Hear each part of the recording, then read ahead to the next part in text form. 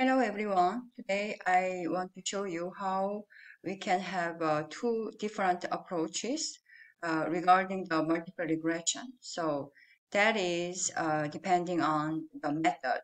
So you can choose the enter or stepwise. So the last time I showed you the uh, enter method and uh, you can observe the uh, R-squared changes when you opt the hierarchical regression. So in the first step, you put the set of variables as a factor, and then you, in the next step, you put another uh, factors. So you can change the by uh, two steps how the R square changes. But this time, I want to show you not by the method of the enter, but by the method of the stepwise. So this way, uh, we'll uh, model, we'll, we'll construct the uh, different models according to the numbers of the factors. So uh, in fact, the, I want to show you what it, what that means. So when you do a, a regression test, analyze and uh, regression and the linear. So here I already put the variable of the uh, performance rating that is dependent variable. And then you have that here the four factors. So you consider that those factors influence or predict the, score of the performance. So what we have done last time was uh, this, or we uh, put the only the two variables in the first uh, group, and the next group you put the uh, written comprehension and the written expression as the second group. So when you divide the two groups uh, by this way, the hierarchical, and then and then the SPSS considers the, uh, the they are two models.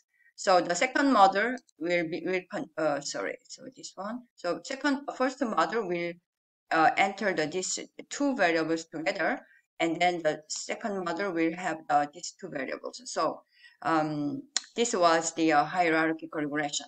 So today, what we wanted to do, this is not a way I want to show you today. So it's um, now we can put the all different factors we want to test. So we can put the written, and the written expression here. So we have all four factors here. And now you choose the stepwise. So last time we choose the enter, that means the that uh, makes makes the all factors together at the same time.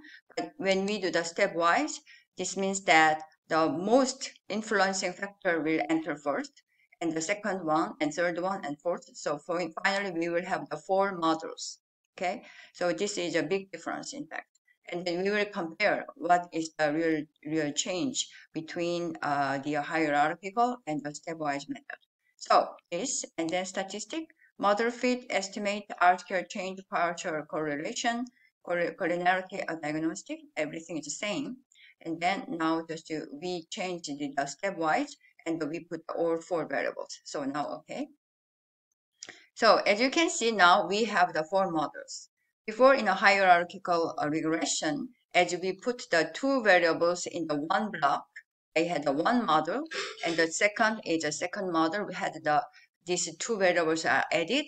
So finally, in the model two, they had the four variables. But now we have the one mo uh, model one has a one variable, model two has two variables, model 3 has 3, and finally model 4 has all four variables. So we can check the uh, in a four models, and then you can see the R square of the each, and the R square changes also you can observe. So stepwise choose the most influencing factor. So that is the uh, the oral expression. So that was the most, uh, in fact, the R square is uh, here. So it, it was the most influencing factor. Yeah, and then you can put the second model that was the oral uh, oral comprehension was the first, and the oral expression. So that adds the uh, about uh, 10% from here.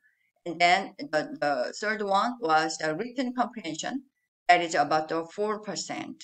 And then the, finally the written expression, that is about 1%. So you can see that here, in fact, the uh, uh, oral uh, comprehension expression they are most influencing factors. And then the, uh, the written part, written uh, comprehension expression, they add something, but it's not very significant factors. So anyway, in the ANOVA table, you can see that all of them are significant. And the model four, you can see that when they are all entered in the stepwise way, and they are still significant. So we can consider all four variables are significant uh, for the performance scores.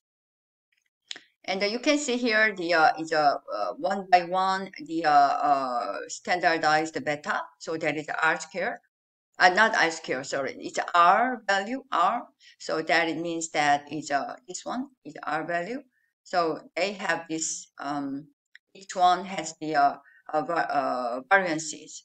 They have the 0 0.3435 and 0 0.28 and like this. So they have this different uh, contribution of the data uh, performance scores. Okay. And then, uh, yeah, in fact, that is the, our focus today, what I wanted to show.